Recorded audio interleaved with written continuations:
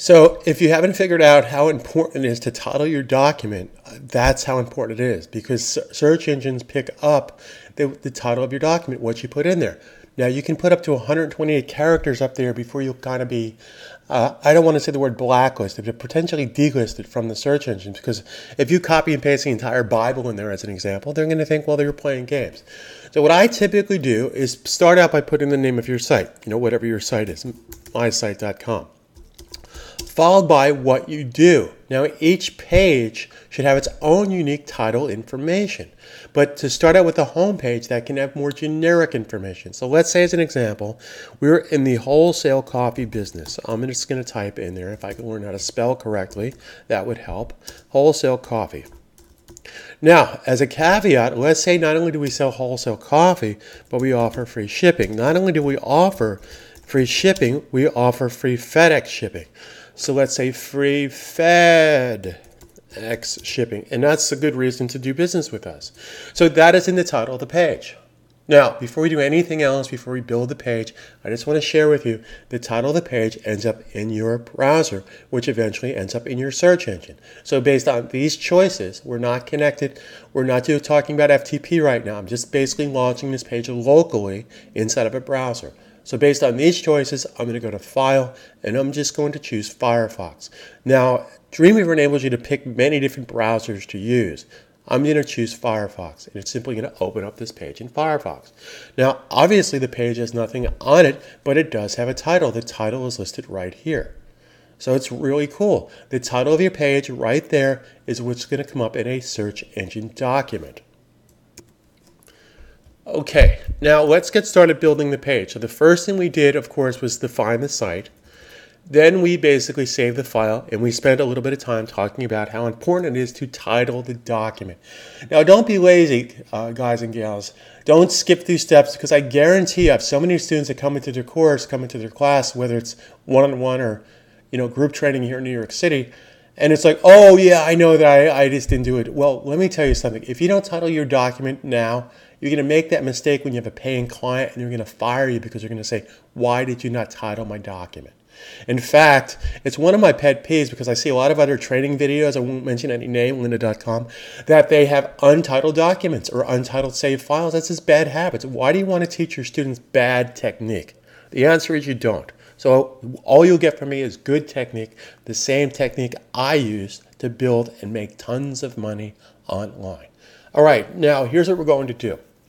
I don't want to turn this into a typing class, so I have this free extension from adobe.com, and if I close my window right here, you will see if you have your welcome screen up, if you click right here, this will take you to the Adobe Exchange website.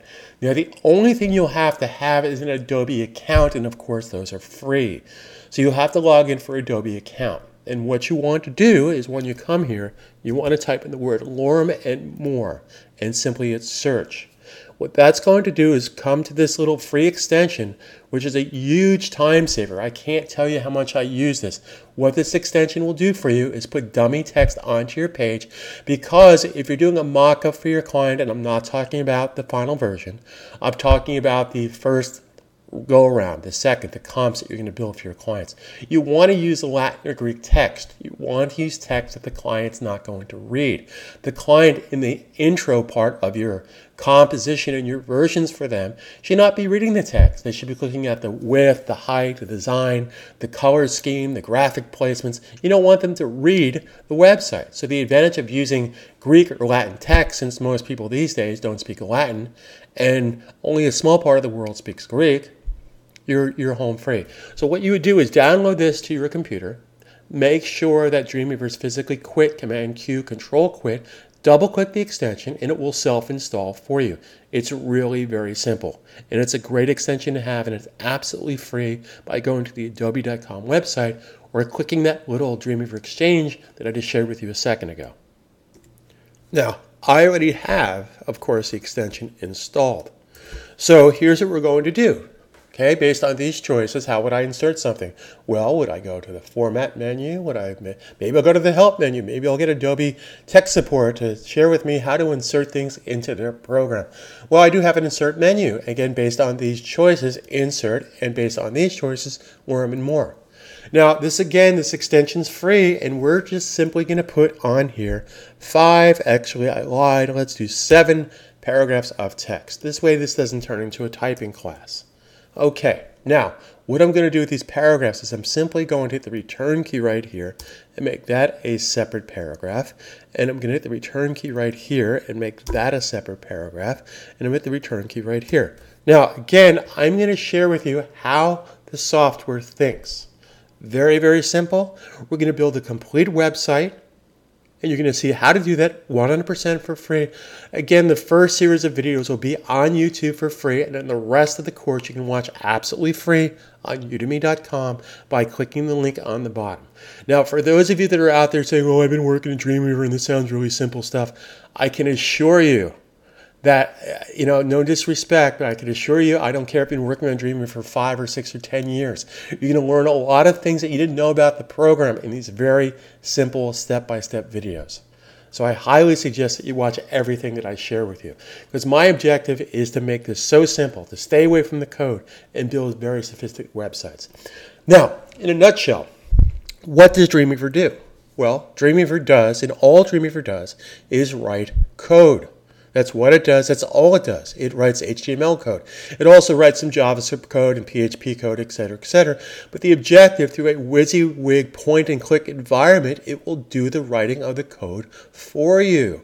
So there's really no reason, in general, like 99% of the time, not to ever go back here. But what I want to share with you is how the program thinks and how HTML thinks and how it's written. So when I made a new document, it basically wrote all the information for me, minus, of course, the content that we just put in here through the insert extension. So here's my HTML5 document. Here's my opening HTML tag. What you'll hear a lot from me is the word tags. This is a tag inside the less than and greater than symbol. This is an opening HTML tag. This is a closing HTML tag. Therefore, everything about this HTML page is inside the HTML tag. Makes sense. Then I have the head section. Now, the head section of my HTML document is not really viewable. It's really the behind the scenes stuff. The only thing that technically is viewable is the title of the document, which is right here. Now, back in the day, before programs like Dreamweaver or FrontPage or Adobe PageMill, you had to write this stuff from scratch. Now, do I know how to write code from scratch? Absolutely, because back in 94, 95, 93, that's what you had to do. But I've become so, you know, why not let the software? You have to understand something.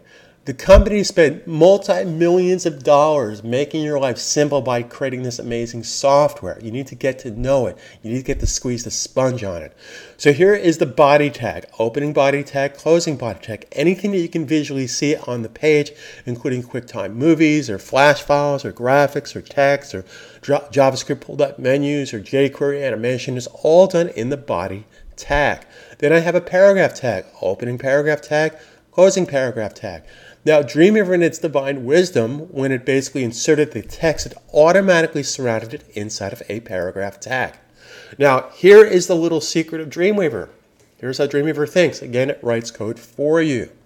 So what you need to do, you the intelligent carbon-based being need to talk to the silicon-based entity and tell it how to work it's not going to work for you unless you know what you're doing. So wherever you put your cursor right here, this is gold. This is very important roadmap down here. This is your tag selector tree. This is your tag selector roadmap. So if I put my cursor right here, this is going to tell me I have a paragraph. Now, if I want to select all the content in my document, I don't have to do this with my mouse or Command A, select all. I simply have to select the body tag. Okay, pretty cool. So in our next video, we'll actually start formatting out the text and we'll write some CSS styles. But the whole objective here is to let the software work for you. Let Dreamweaver do all the heavy lifting for you using my proven, simple, time-tested technique. My name is Robert Farrell. Thank you very much for being here. Again, you'll be able to watch the complete series of this 100% absolutely free.